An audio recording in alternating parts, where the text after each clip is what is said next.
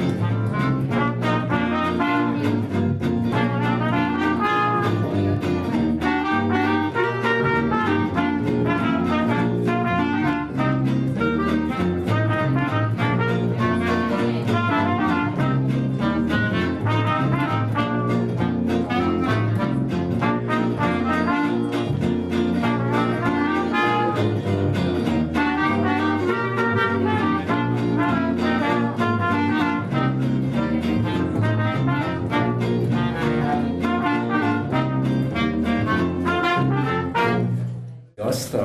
a derűt és azt a humort, az ő által alkotott rajzokat és világot, amit, amit ide hozott most ezekkel a képekkel, és amit általában az életünkbe hozott, azt, azt senki más nem tudja pótolni. Tehát ez valami olyan különleges adottság, és olyan, olyan öröm, hogy én azt vettem észre, hogy bárhol megfordulok, persze ez a zene is sokat segített, de hogy most itt bejöve annyi mosolygó arcot láttam, akik így körülnéznek egymásra, és, és örülnek a képeinek, hogy ezt szeretnénk most ezúton megköszönni.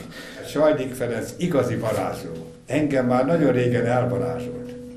Figuráival, megbűvölve nézem őket, mintha egy másik világba csöppettem volna, egy álomvilágba. Egy vidám világba, ahol minden csupa játék, meg színes vonal, meg újjal elkent foltok, amelyekből minden lehet. Megmozgatja lusta képzeletünket, szeliden unszol, hogy figyelj csak, ha ezt itt tovább húzom, vagy gyömöszölöm, vagy kiszínezem, ház lesz belőle, vagy madár, vagy versenyló, vagy éppen amit akarsz, vagy éppen amit elképzelsz.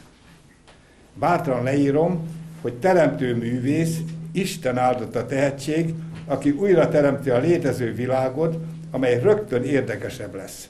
Műfajokat von össze, szabadon és bátran közeledik, közlekedik a műfai korlátokon át is, fölényesen alkot és teljesen eredetit.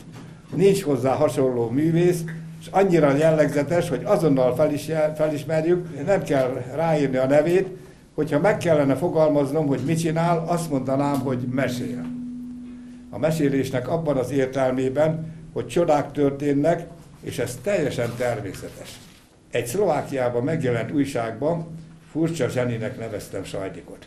Arra gondoltam, hogy tapsok nélkül, fényszórók nélkül teremtett egy teljesen önálló, fura világot. Tele van zseniális ötletekkel, merészen keveri a valóságot a csodával, a tükörből untig ismert arcunkat egy olyan arccal, amit csak ő lát. És megajándékoz vele. És mi hálás szívvel köszönjük, a, a varázslatot.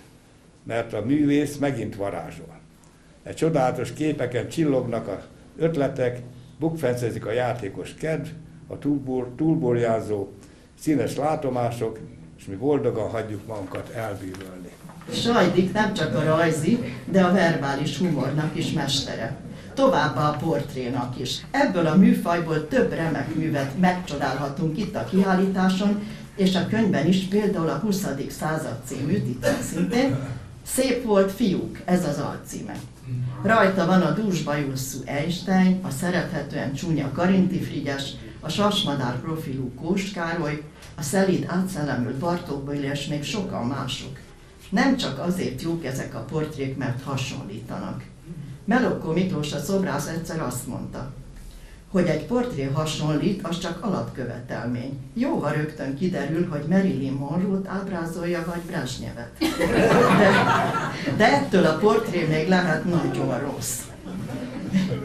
Sajdik portréi könnyedén teljesítik az alapkövetelményt, de ezentúl az ábrázolt szeméről, a jelleméről mindig valami lényegest mondanak.